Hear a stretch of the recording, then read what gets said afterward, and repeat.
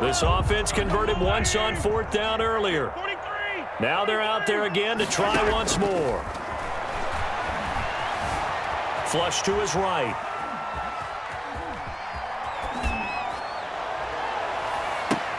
He's got a man complete. And he'll take this to the other side of midfield before going out of bounds. Hey, nothing to see here. Just your standard fourth down gain of 28 yards. And the drive keeps going. Now a first down carry by Bell. And they'll get him down as he's inside the 40. 11 more on that one and another first down. Four yards. That's another Kansas City Chief. And they'll keep it on the ground with Bell. A good gain of nine before he's brought down at the 28.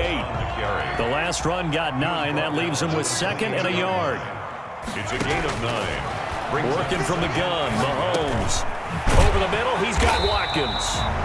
And he'll be brought down at the 21, just shy of the 20 in the red zone. One thing you're hoping for when you run drag routes, you're able to hit a receiver in stride, and he can pick up a lot of yardage after the catch. But in this situation, the defense was effective, able to stop him before he could get a good head of steam going. Now he's got it. And he'll be taken down at the two-yard line. 19 yards on the pickup there.